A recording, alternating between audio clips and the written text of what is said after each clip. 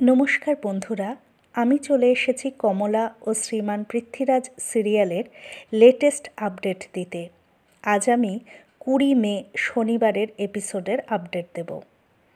মাস্টারমশাই বুঝে উঠতে পারেন না যে কীভাবে অ্যাটেন্ডেন্সের খাতাতে কমলাকান্তের নাম এন্ট্রি হলো। তখন হেডমাস্টার মশাই এসে কমলাকান্তের বুদ্ধির সুনাম করে জানালেন যে তিনি এই ছাত্রকে ভর্তি নিয়েছেন। লক্ষার মনে কমলাকে নিয়ে সন্দেহ জাগে। সে মাস্টারমশাইকে জিজ্ঞেস করে যে, কমলা ছেলে না মেয়ে? কারণ তার গলার আওয়াজ মেয়েদের মতো শোনাচ্ছে। মাস্টারমশাই এই কথাতে লখাকে ধমক দিয়ে বসিয়ে দেয়।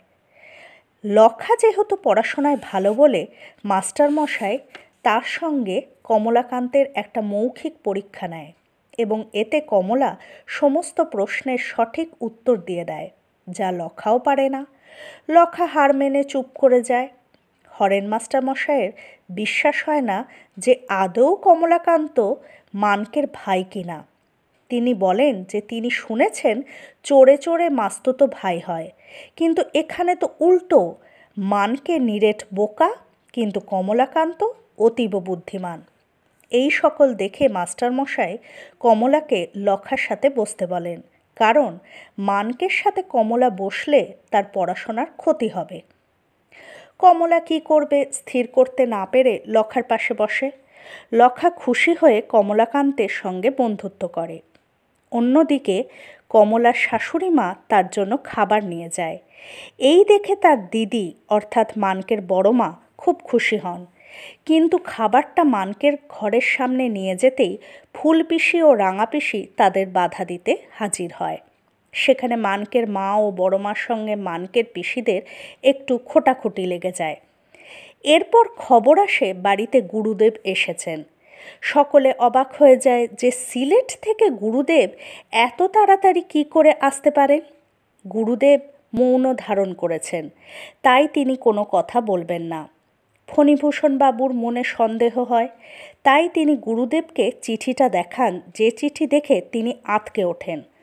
ফণীভূষণ বাবুকে সঙ্গে নিয়ে তিনি একটা ঘরে প্রবেশ করে লিখে প্রকাশ করেন যে তিনি ওই চিঠি লেখেননি।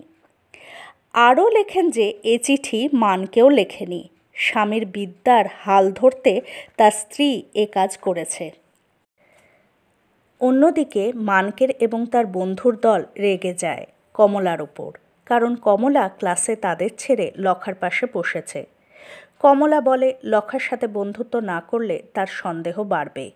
সবাই তার কথা বোঝে এবং তার কাছে ক্লাসের পড়া বুঝতে বসে। লখা এই সমস্ত ঘটনা দেখে এবং শুনে ফেলে। ফুলপিসি ও রাঙাপিসির গুরুদেবের আচরণে সন্দেহ হয়। তাদের স্থির ধারণা হয় যে কমলা তার ঘরে নেই। সন্দেহের তাগিদে তারা ছুটে যায়।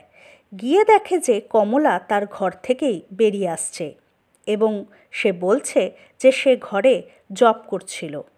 তাদের আর কিছু বলার থাকে না। মানকেও স্কুল থেকে ফিরে আসে।